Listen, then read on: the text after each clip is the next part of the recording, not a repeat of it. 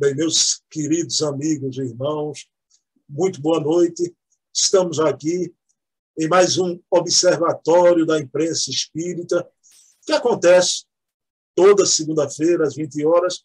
Eu e meu querido amigo Leonardo Marmo Moreira, de São João del Rei, Minas Gerais, esse querido conferencista, articulista. E a gente aqui, a proposta desse observatório é a gente conversar sobre a imprensa escrita, falada e televisada. Quando falamos televisado, o Espiritismo não está na televisão, mas está nas grandes mídias, através dos vídeos, e é nesse sentido, porque na noite de hoje vamos analisar aqui dois vídeos. Daqui a pouquinho eu vou revelar para vocês já mas antes, eu vou dar boa noite a meu querido amigo e pedir para Marmo fazer uma prece. Mas boa noite, Marmo, tudo bom? Boa noite, Bruno. É, tudo ótimo. Mais uma vez, é sempre uma alegria é, estar na sua presença, mesmo que virtual. É, é muito, muito gostoso conversar com você. Desde a, desde a nossa troca de palavras, antes da gente abrir para o público, é sempre uma alegria estar com você mais uma vez e, e discutir espiritismo, né, Bruno? É sempre uma alegria redobrada. É, espiritismo é uma conversa que não tem fim, mas nós vamos tentar manter o horário, né, Bruno? vamos tentar não extrapolar muito. Mas é sempre uma alegria estar com você e uma alegria conversar sobre espiritismo. Ok, Marmo. Então, você faz a prece inicial hoje. Deus, nosso Pai, Senhor Jesus, nosso amado Mestre, Allan Kardec, Mestre de Lyon, nosso codificador, rogamos a proteção para o nosso trabalho, rogamos a proteção para esse encontro. Abençoe a cada um de nós, para que a gente consiga elevar os pensamentos, atingir um nível maior de entendimento, maturidade, e que o nosso diálogo possa ser útil a, aos irmãos que eventualmente nos honrarem com a sua companhia, com a sua sintonia. Muito obrigado, Pai de amor. Muito obrigado, amigos espirituais. Que assim seja. Assim seja. Pessoal, como hoje eu e Marma, a gente vai analisar aqui dois vídeos com a presença do Divaldo Pereira Franco. Eu quero usar uma afirmativa de Jona de Ângeles, né? pensamento que eu gosto muito, Marmo, que o homem espiritual é sério sem carranca. Tá? Ele é sério, mas sem ser sisudo. Não é? Então, é alegre, é feliz. Então, eu vou iniciar aqui brincando com o Marmo. Marmo, esse programa aqui, Marmo, de hoje, que orientalismo é esse? Porque, pessoal, a gente vai analisar duas falas de Divaldo, uma sobre o grande líder da Índia, Satya Sai Baba, não é? grande educador também, mas um médio de materialização é, sobejamente conhecido pelo movimento espírita. E, no segundo momento, também uma fala de Divaldo, a gente vai abordar o conteúdo da obra de um espírito também oriental, que é o Ramatiz, que fez época no movimento espírita através da produção psicográfica do médium Ercílio Mais. Então, eu sempre combino com o Marmo, e, e, e Marmo hoje deu as coordenadas. Bruno, eu acho melhor a gente começa por Saibaba, e eu concordo, mas vamos lá, meu querido Marmo. Pessoal, isso é um compromisso a partir de agora tácito, não é? Tácito mesmo. Sempre a gente vai colocar os links aqui. Então, dos dois vídeos já estão aqui, vocês podem olhar aqui embaixo na descrição. Então, foi uma entrevista que Divaldo deu para o grande jornalista baiano, né? José Raimundo. Né? Então, sobre Sátia Saibaba, meu querido Marmo, nesse primeiro momento, o que você achou da fala do Divaldo e o que você acha dessa figura repleta de empatia que é o Satya Sai Baba.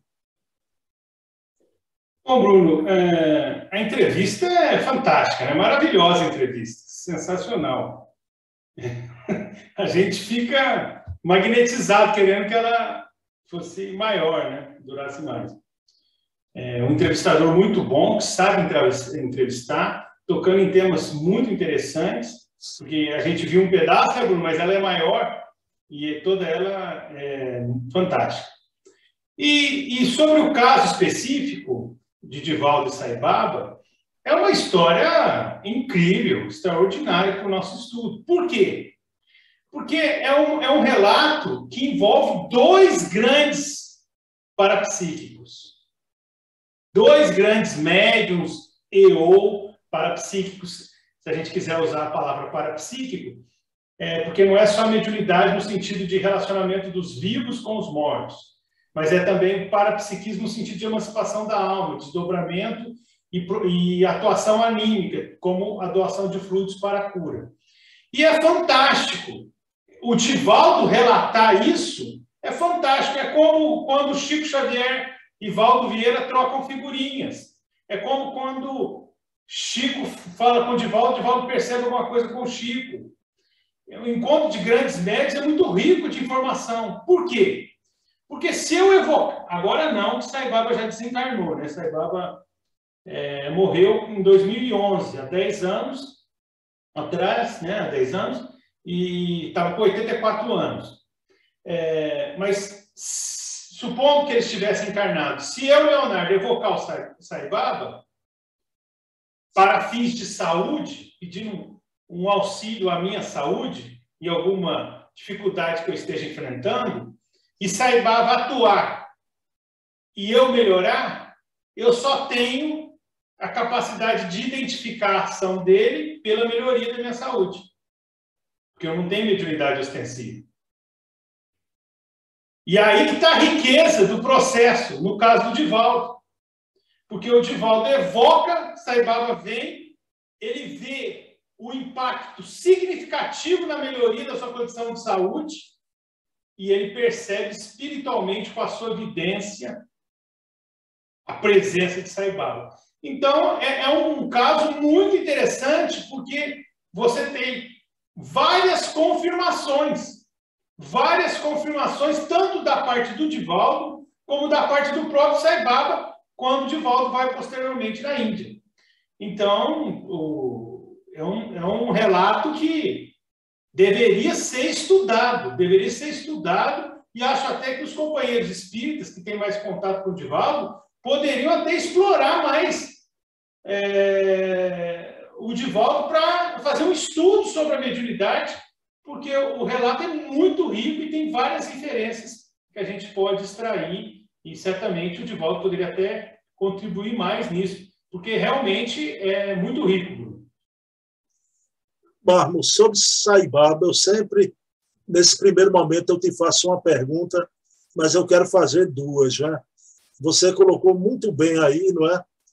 A questão do, do, do grande homem, do, do, fenômeno, mas há um momento que ele pergunta a Divaldo na entrevista, né? Você acha que eu sou Deus? O Divaldo pede desculpa, diz que faz parte da cultura ocidental e na minha cultura, nenhum homem é Deus. Mas eu acredito na sua mediunidade, nas suas faculdades paranormais. Divaldo fala assim, não é? Então, isso é notável, Marmo, porque o Divaldo conta que quando chegou lá no ashram de, de, de Saibaba, ele viu uma entidade veneranda, porque há uma palestra de Divaldo sobre Saibaba, uma palestra grande, né? E ele diz que essa entidade veneranda era nada mais, nada menos que Rabindranath Tagore, o grande poeta hindu, né? prêmio Nobel de literatura. Então, quando o Divaldo diz aquilo que eu acredito nas suas faculdades, é a palavra de um grande médium aqui do, do, do Ocidente, né? para o grande médium do Oriente. Não é isso, Marmo? Eu vou, eu vou fazer um um breve resumo, Bruno, porque bem rapidinho. Então, o Divaldo conta que em 1991 ele estava passando por muita angina, muita dor no peito. E ele tomava isordil. E aconteceu que ele tomou o medicamento e não melhorou, e ficou muito preocupado. E lembrou-se que o grande amigo, amigo pessoal dele, Hermógenes, o grande autor da yoga, ou yoga, como queiram, aqui do Brasil, o Hermógenes falou assim, Dival, quando você tiver algum problema de saúde, evoque Saibaba, porque ele tem o dom da ubiquidade, ele tem a capacidade de desdobramento, de emancipação da alma. E ele vem e ele faz trabalhos incríveis. E o Divaldo lembrou. O Divaldo tem, tinha uma relação próxima com o Hermógenes. Hermógenes, Hermógenes assistia palestras dele lá no Rio. Enfim. E aí o Divaldo, na hora que sentiu a dor, resolveu testar. E aí ele evoca. Só que na hora que ele evoca, ele vê uma pessoa que não é o estereótipo do indiano. Vê uma pessoa com cabelo meio afro, né, meio black power, como o Divaldo fala, é, que não é o estereótipo, que já é uma confirmação da mediunidade, né, Bruno? Porque a, o nosso imaginário, quando você fala um indiano, você pensa em alguém com aquele desenho do Ramatiz, que a gente vai falar depois, não é? O estereótipo não é um black, uma pessoa mais mulata no estilo Black Power, com uma roupa até com cores chamativas. O, o Sai Baba não é exatamente o estereótipo do, do indiano. Então, naquela época não tinha internet, né, Bruno? Não tinha essa facilidade para a gente ver a imagem dos famosos. E aí ele vem, e, é, levanta as mãos, faz uma imposição de mãos, o Divaldo adormece, a dor passa. Agora, o interessante também é o critério do Divaldo. No outro dia, na hora da dor, na hora que veio a dor, ele falou: não vou tomar o medicamento. Porque vai ver, foi um efeito retardado do medicamento. Evoca, acontece. No terceiro dia, de novo, ele não toma o medicamento. Evoca Saibaba, vem Saibaba em desdobramento e faz, digamos, um passe, uma doação fluídica. E ele melhorou. Quando eles vão para a Índia, posteriormente, mais ou menos naquela época, a KPM é, convidou o Divaldo e Nilson de Souza Pereira para viajarem com eles num grupo de 16 brasileiros para a Índia. Eles visitam Saibaba. E o Saibaba, e aí, aí que eu vou chegar, outra confirmação. O Saibaba, na hora que vê Divaldo no meio do povão lá, até o José Raimundo fala, seria o Papa na Praça São Pedro, viu? Fala, guardadas as devidas proporções, é por aí. O Saibaba fala, nós já nos conhecemos. Olha só como. E o Divaldo não faz igual muitos de nós fazemos. Ele falou essa frase falou essa frase em inglês, né, Marmo? E Divaldo captou. É. Então, o que, que, acontece? Nós já nos conhecemos. Então, o Divaldo fica, ah, é isso. Não, não. Ele fica ali, como diz a garotada, low profile, né? Num poker face, sem demonstrar muita reação, para não dar confirmação, para poder trazer esse relato para nós. E, e depois pergunta, quantos dias vocês vão ficar? Aí o Divaldo fala, cinco dias. No que passou um ou dois, ele pergunta de novo, quando vão embora? Amanhã, porque parece que já tinham visto tudo e iam visitar a cidade onde Madame Blavatsky teria atuado, ou, ou seria oriunda. É, ele falou, não, mas eram cinco dias. Aí o Divaldo ficou impressionado com a capacidade da memória. E aí, nisso, como eles iam viajar no outro dia, Saibaba chama eles para a seleção, para a recepção, onde ele tinha um contato maior. E Divaldo disse que estava junto dele quando ele fazia é, fenômenos. Divaldo disse que acreditou na legitimidade dos fenômenos, porque as pessoas pediam, faz me dá um anel, me dá um relógio. E aí ele tirava o relógio, o Divaldo disse que estava com a manga meio transparente, que não dá para esconder nada, ele estava junto, e disse que saía quente e não tinha marca. Então, algo para a gente pensar, algo para a gente estudar, né? sem fechar em nada, mas para a gente estudar. Mas aí, nesse ponto que você comentou, o Saibal pergunta: Você crê que eu sou Deus?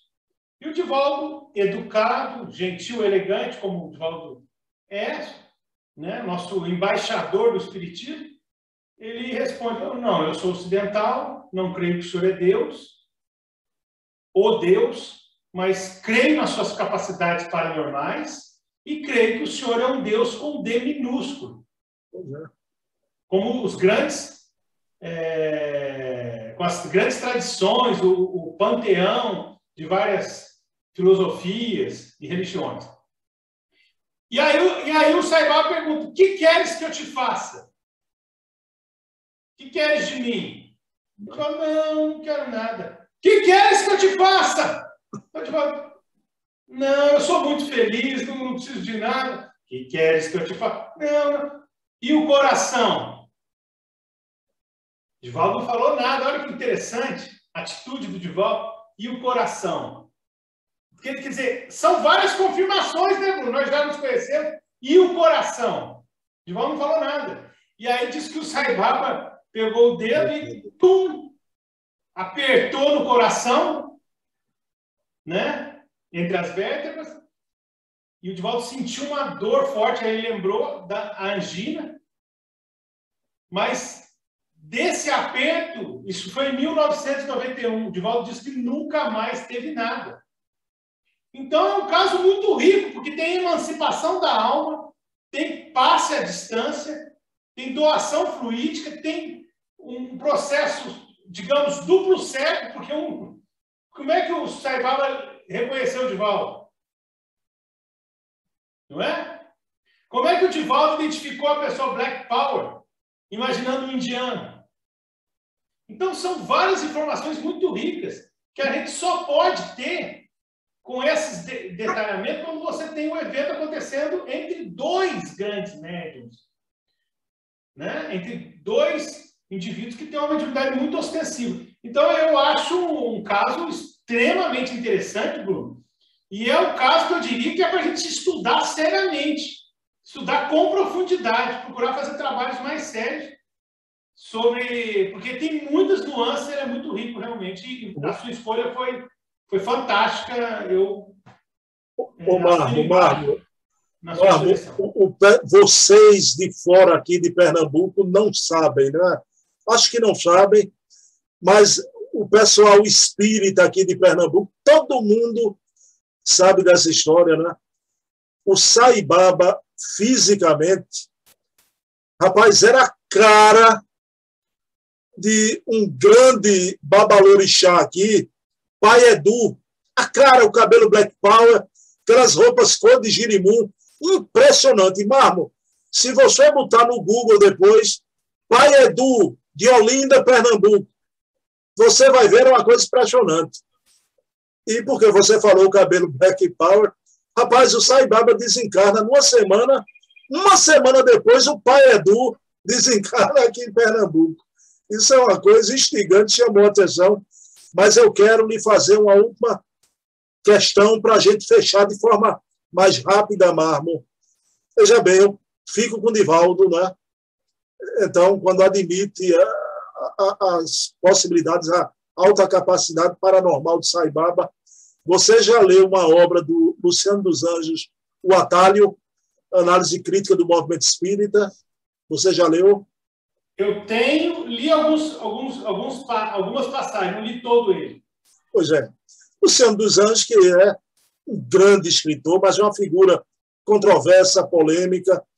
Quando o Divaldo foi lá, o, e o Luciano gosta muito de Divaldo, Luciano, eu não gosto muito dessas análises, dessas personalidades como Saibaba, grandes homens, análises muito reducionistas, meu querido Marmo, né? O que fazem com Bezerra? Ah, foi rustenguista lá no outro século, né? Então, essas análises muito né, com viseira eu não gosto.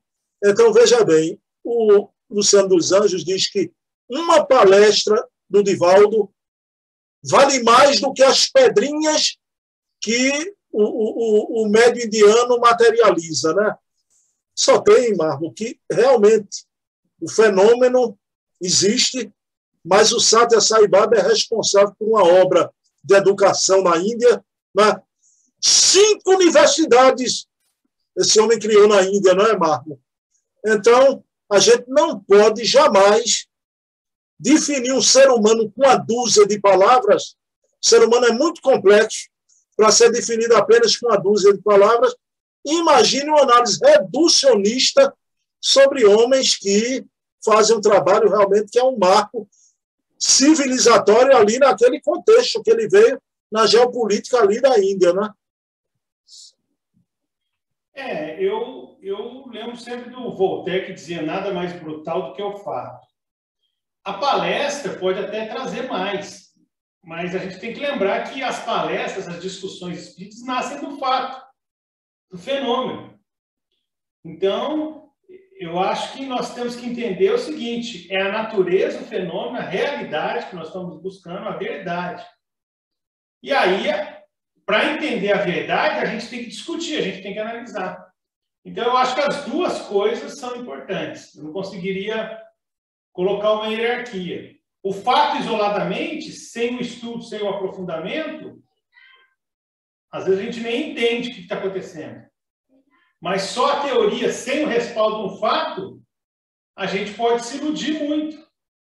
Como muitas vezes as religiões com interpretações teológicas baseadas única e exclusivamente em textos sagrados, sem o respaldo dos fatos novos, sem procurar pesquisar, porque toda a autoridade é do texto sagrado, de coisas que já aconteceram há dois mil anos atrás, e não dá para pesquisar porque a revelação acabou, você congela, você paralisa, você deixa o conhecimento da humanidade na pré-história. Por isso que, às vezes, o, o avanço religioso fica difícil. Então, eu diria que os dois aspectos são importantes: o fato, o fenômeno e a interpretação, as análises, as discussões, as palestras. As duas Amarro. Eu falo que a análise é reducionista, porque não fica só nesses dois aspectos, né? fenômeno e teoria. O trabalho de Saibaba sobrepuja até esses dois aspectos, porque tem uma obra de educação ali, promovendo socialmente. Né? E, me, e mesmo nesse caso, Bruno, esse caso, é um fenômeno que aconteceu com o Saibaba e com o Divaldo. Divaldo é participante do fenômeno também, né? Porque ele tem a evidência para identificar Saibaba. Ele vê o espírito Saibaba desdobrando e dando um passe nele por três vezes. Então, esse caso, você vê o fenômeno de Valdo Saibaba fazendo o fenômeno, mas você vê também a capacidade de síntese, de narração do Divaldo. Você, um médio igual Peixotinho, Fábio Machado, Carmine Mirabelli, as evidências que esses médiums trazem são maravilhosas. Isso aí é uma coisa separada da palestra, da discussão, do aprofundamento? Não. É o fato, é a aula prática com a aula teórica, né? Então, há uma fusão, há, uma, há um conjunto desse, dessa busca pelo conhecimento. Então, acho que as coisas não são tão excludentes. E, além disso, tem isso que você falou, tem a contribuição que o nosso irmão deu. Vamos fechar assim, né? Saibaba e Divaldo, né? O fenômeno, a mediunidade de ambos, né? Os dois pregavam e os dois deixaram uma obra de educação. Né? Esses homens são grandes almas realmente, né? O Divaldo Franco, em off, a gente conversando aqui antes, meus queridos irmãos, né? Eu e Barba, a gente falando, quando o Divaldo desencarnar, vai ser uma falta que o movimento espírita vai sentir, porque Divaldo é uma rátima, é uma grande alma aqui no Brasil, não é, Marma? Eu vou citar, essa frase eu não concordei muito do Luciano, mas eu vou citar uma do Luciano que eu gosto. Porque eu gostei muito, inclusive, do livro A Contra a História das Mensagens Copiadas, do Luciano dos Anjos. Enfim, é, acho que ele tem uma contribuição, a contribuição dele nas materializações de Uberaba é importante. Mas ele tinha, ele tinha uma colocação que eu acho muito interessante. Ele diz que lá atrás, ele falou isso lá atrás, ele disse que depois que desencarnassem Chico Xavier, Ivone Pereira e Divaldo Pereira Franco, a gente ia passar por uma fase de transição em que dificilmente ia chegar um médium desse nível. Né? A mediunidade está na natureza e a gente está sempre esperando que ocorra é, o fenômeno mediúnico. Mas é uma coisa para a gente pensar. E talvez, Divaldo é o único dos três que está encarnado. E talvez é, esse período também de interface entre grandes reencarnações de médiums e talvez uma fase com menos super médiums, vamos colocar assim, seja para que a gente estude o material que esses grandes médiums deixaram e que está aí publicado em excelentes livros, excelentes encadernações, e a gente não está estudando o suficiente, né, Bruno? A gente não está estudando o tanto que a gente deveria estudar. Perfeito, Marcos. Que inspiração. Você agora captou as altas correntes de pensamento, exatamente isso. Meu amigão, vamos lá. Segundo vídeo, Divaldo fala sobre Ramatiz e sua obra. Né? Eu achei muito interessante, não sei se você percebeu assim, Marmo, mas eu percebi. Houve uma pergunta, uma colocação de um ouvinte, né? que aquilo ali, para mim, foi um momento, quando a gente escuta, uma saia justa, né? Ou uma calça apertada por, por Divaldo. Né?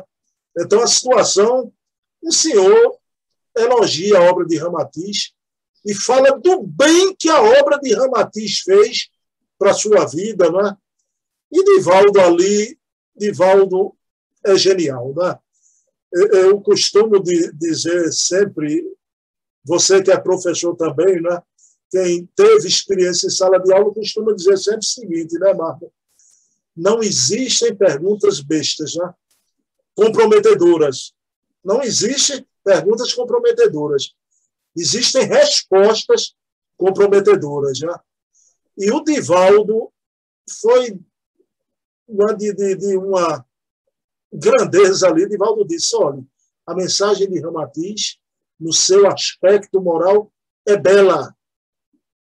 E como a doutrina espírita diz que o mais importante é o aspecto moral, então, assim é se lhe convém, se Ramatiz fez bem, se eu gostei muito disso, embora eu e Marmo aqui, a gente vai tocar também Marmo, né? naquele lado da obra de Ramatiz, que também não é só o aspecto moral. Né? Mas o que você achou? Você sentiu esse momento que Divaldo se sai com a grandeza da alma e me fale sobre Ramatiz no teu ponto de vista aí, Marco. Bom, em relação ao Divaldo, é impressionante, né, Bruno? É impressionante a capacidade do Divaldo, não só sendo um grande expositor e um grande médium, um grande trabalhador, incansável, mas ter esse jogo de cintura em situações às vezes até constrangedoras, em que ele tem que ser polido, tem que ser educado, sem deixar de ser esclarecedor, e mostrando por que, que ele tem esse papel, pelo menos na minha opinião, né, de grande embaixador do Espiritismo. Mas eu acho que você concorda comigo, eu acho que grande parte dos companheiros concordam comigo, porque é uma pergunta que a pessoa já faz esperando uma resposta positiva. E, e, fica todo mundo naquela expectativa se o Divaldo vai fazer alguma crítica aos posicionamentos é, do Ramatiz. Então, o Divaldo comenta um pouco do seu, do seu contato histórico quando ele era jovem com o Ercílio Mais, primeiro médium do, do Ramatiz, e, e diz que a obra é excelente do ponto de vista moral e alguns aspectos necessita, como toda obra espírita, ser submetida ao, controle da universalidade do ensino dos espíritos, ou o controle da concordância universal do ensino dos espíritos. Então, aquilo que não se mostrou concorde com outras obras, após uma análise qualitativa e quantitativa pela corroboração de vários, vários médios em vários grupos separados, aquilo fica em stand-by, fica em banho-maria. Então, ele, de uma forma sutil, ele demonstra que Ramatiz é muito importante, uma excelente obra, sim, dentro do espiritualismo, uma excelente obra, sim, dentro do, do, do fornecimento de ensinos morais, mas do ponto de vista do ensino espírita propriamente, a gente tem que analisar caso a caso as informações e avaliar o controle da concordância universal do ensino dos espíritos em geral em relação a cada uma dessas informações. Então, realmente, o Dival Pereira Franco é o Dival, né, Bruno? Ele mostra toda, toda a sua condição para essa missão que ele está desenvolvendo, esse verdadeiro mediunar. Porque ele mostra que ele sabe doutrina, ele entende de gente. Ele entende de doutrina e entende de ser humano. E ele sabe ser carinhoso, ser educado, ser elegante para dar uma resposta, coisa que nós teríamos, nós pobres mortais, né, nós soldados rasos do exército de Jesus e Kardec aí, nós teríamos bastante dificuldade, né, Bruno? Pelo menos eu teria bastante. Mas ele, ele vai muito bem, como é usual, né? Ô, ô Marmo, Marmo, mas aí, vamos analisar alguma coisa, né? Nesse bate-papo. A obra de Ramatiz ela é complicada, veja bem. Eu admiro até o Essílio Mais, porque ele tem uma cultura espiritualista notável, né? Ele era um médium muito culto, né?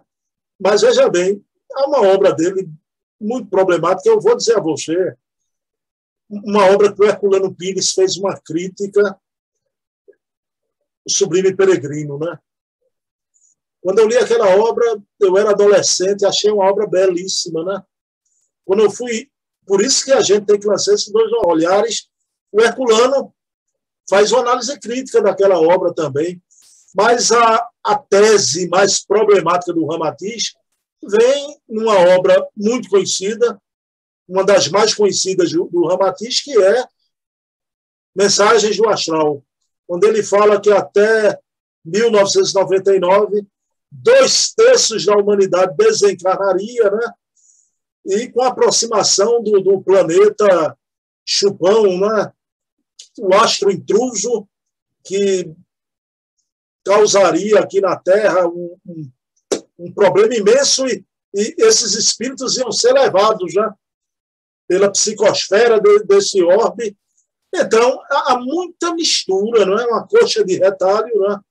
com orientalismo, com, com esoterismo até, e com princípios da doutrina espírita. Uma coisa que, que o Ramatiz é interessante isso, ele não aceita o corpo fluídico e, e critica o rustenguismo, né? mas em outro aspecto a, obra é muito problemática para ser aceita dentro do, do, dos princípios e para ser divulgada dentro das casas espíritas, não é, Marta? É, em relação ao, ao Ramatiz, né, Bruno? É, é, difícil, a gente tem que analisar caso a caso. Tem um confrade, Arthur Felipe, que escreveu um trabalho é, Espiritismo versus Ramatizismo, que ele faz uma análise, uma compilação muito interessante sobre questões polêmicas da obra de Ramatiz. E, e você percebe que tem textos, tem partes, o Ramatiz, né, certamente com, com, uma, com mérito também do Ercílio, você percebe que ele escreve bem, né? não é todo mundo que escreve bem, desses médios. O texto dele é agradável, não é? É uma das explicações dele ter feito um, um sucesso significativo. Ele escreve bem, o texto dele é agradável. É, ele defende algumas ideias que eu acho até que você deve gostar, Bruno. O vegetarianismo, por exemplo, não é? É um ponto, é um ponto que é sempre lembrado só que o Ramatiz, trazendo um pouco daquela bagagem oriental, ele ainda é muito apegado a rituais, a imagens.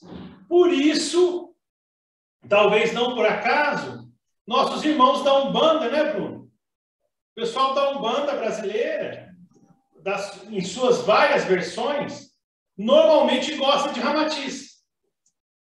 Eu percebo que os nossos companheiros da Umbanda, é, estudam Kardec e estudam Ramatiz.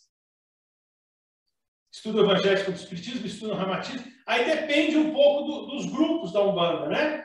Porque a Umbanda acaba sendo um pouco sincrética, é um sincretismo, e tem correntes diferentes, mas Ramatiz normalmente é um autor muito citado, porque Ramatiz traz um pouco essa questão do ritual que a Umbanda conserva. Então, é, é, tem coisas, por, por, exemplo, a questão da astrologia, é, essa previsão de que até 99 ia derreter os polos. Então, o Ramatiz tem algumas coisas complicadas. Mas você percebe até na codificação que Kardec, no primeiro momento, ele traz algumas informações sobre planetas, sobre vidas em outros planetas, e depois parece que ele recua um pouquinho.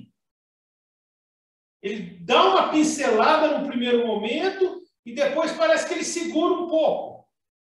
Não sei se de repente a concordância universal não estava batendo, não é? O controle parece que não estava deixando ele muito seguro da confirmação e ele evita correr riscos, né? evita divulgar aquilo que ainda está no plano hipotético, ainda está sendo trabalhado, mas ainda não foi chancelado como princípio doutrinário.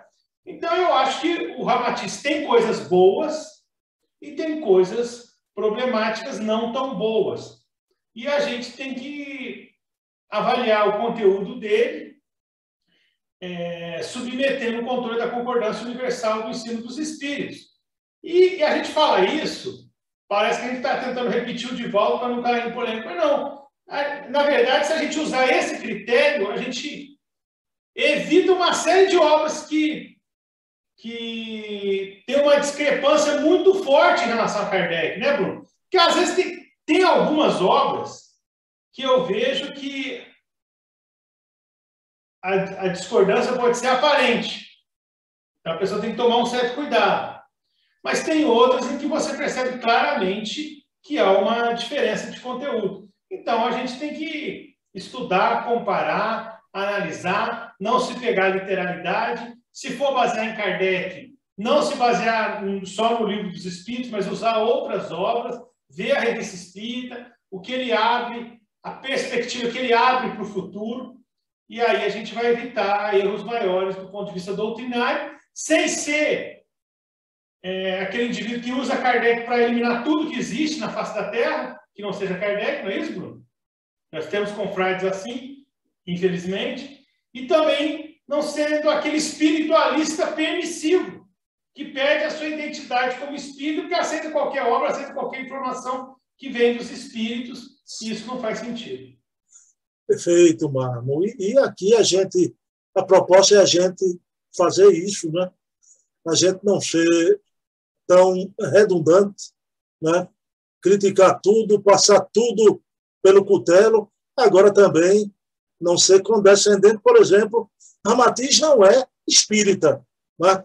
ele é espiritualista. Né? Então, mas a gente respeita, como Divaldo disse, na parte moral tem coisas boas, como em, em tudo, como a obra do, do, Pietro Baldi, é um escritor admirável, né? O, querido místico da Úmbria. Né? Pessoal, Marmo, você falou em, em controle universal e concordante dos espíritos.